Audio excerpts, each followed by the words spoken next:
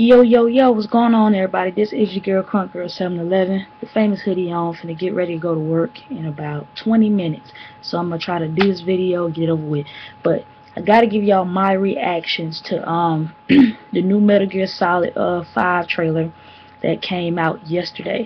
Um, I actually did an article in it, um, article on it. It's gonna be in the description. I stayed up till like six this morning doing a little article because Actually, no, I don't. I miss shit. Usually when they reveal shit, I be at work. So, just like they did Battlefield 4, I'm gonna give y'all my impressions of that too, because that shit was hot. Um, my my initial impressions of Metal Gear Solid 5, the trailer, it was fucking epic. The trailer was very very well done. Um, basically what they did was you can tell if you already had seen the trailers for Ground Zero and the trailers for um Phantom Pain which was like one was for the uh, one they they dropped at the VGAs in 2012, and one they dropped at the 25th anniversary of Metal Gear Solid, the event in Japan. They put a trailer out for both games, and we were thinking that the games were separate, but they aren't. They're one entity. They're like two games put in one, and, and two, both of the games equals Metal Gear Solid 5. Um. so basically, those were like teasers, trying to tease us into thinking that there were two games and they weren't. They were one game. Um, but my my initial thoughts was the game was fucking good. Um, and of course we all know it was running on P high-end PCs. Of course we know this, but Metal Gear Solid games look good no matter what you know what I'm saying console is on. Like when it was on PS3, it looked great. Like that was when and that game came out shit like 07 maybe can't remember when Metal Gear Solid 4 came out, but that shit is still, in my opinion, it's still one of the best looking games for the PS3. And it's been so long ago since that game came out, and it still set a benchmark for how games should look on a PS3 when it comes to Uncharted, the, um, the God of Wars, all that shit. Met fucking Metal Gear Solid 4 was that game where that shit looked fucking good. Um, but pretty much, I'm gonna read y'all some stuff that I found. Um, after the the 17 uh they did a, like a 17 minute trailer for Battlefield 4 the other day. Uh, Kojima he dropped like a I think it was like maybe six minute, seven minute um video. Um, and then um he he dropped it because there were two separate joints. We thought there were two separate games, but no, they're combined. Um, basically. Ground Zero side of the plot will take place approximately 10 days after Peace Walker um, and the Phantom Pain will be nine years after um, events of Ground Zero's story, after Big Boss falls into nine-year coma. So basically, Big Boss wake up, and it's been nine years. He don't know where the hell he at, what happened. He just don't know shit. Um, it started the game, um, but and for y'all don't know, they showed this reveal at GDC.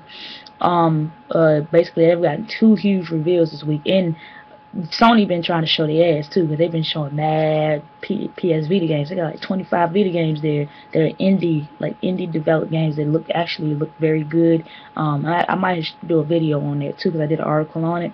They got a lot of it's a lot of games coming to the PSN, a lot of games come to the Vita this year, a shitload of games. Um, but um, basically the um the event is after, like you said, nine years after that, where he wakes up, he's like in this coma state where he doesn't know how to walk or nothing that, and the people like if you see in the trailer, people are trying to kill him, and he's trying to get out of there. Um, when he awakens, he awakens in the hospital beside some guy named Ishmael. Um, the figure that's the Phantom Pain, whose face is covered in all the bandages and shit.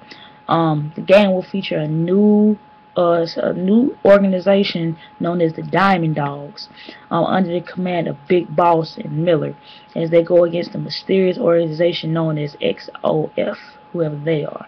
Um, Kojima did the demo, and of course the demo was on PC, like I said. Um, gameplay, it showed at the gameplay tutorial stages, um, Snake can't walk or move like he usually does due to the, um, the coma state. Um, after Snake escapes the hospital, he regains mobility, and that's when Metal Gear Solid 5 will be the first game in the series to ever be open world. That's like that opens up a thousand possibilities for this game. Um, um, like I said, the game was running on PC, but um, they were they were using this new Fox engine that they're trying to show off, and the engine looks incredible.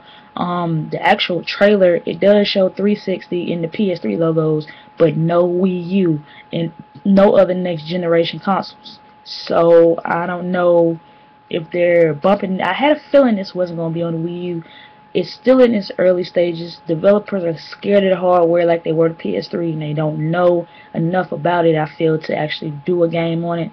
That's why the Wii U is getting a lot of older ports. You know what I'm saying? But I'm up if I find out anything, I'm update y'all on further details when they come when they become available. But this game looks awesome. Um, I like the plot twist.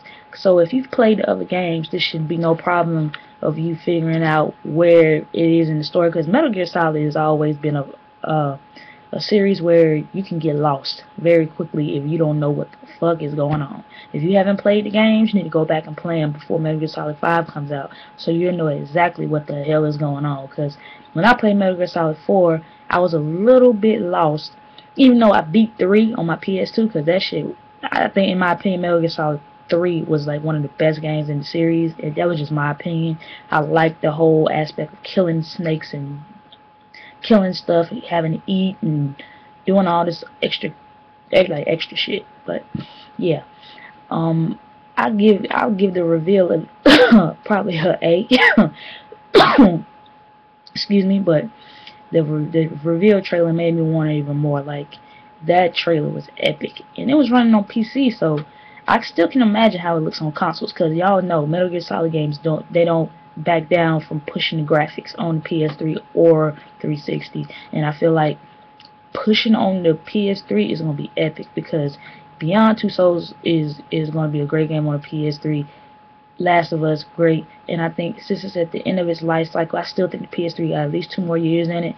They're to push the shit out of this hardware um, until they can't push that shit no more. So, um, anyways, this is your girl, Crunk Girl 711. Let me know what y'all think about Metal Gear Solid Fan the Phantom Pain. The reveal trailer is gonna be down here with my article. Let y'all read that. Um, and I think whatever comes out from GDC, if anything else comes out this week, I'm gonna let y'all know. And Battlefield 4 Impressions is coming too this week, probably tomorrow. So I'm gonna holler at y'all. Deuces.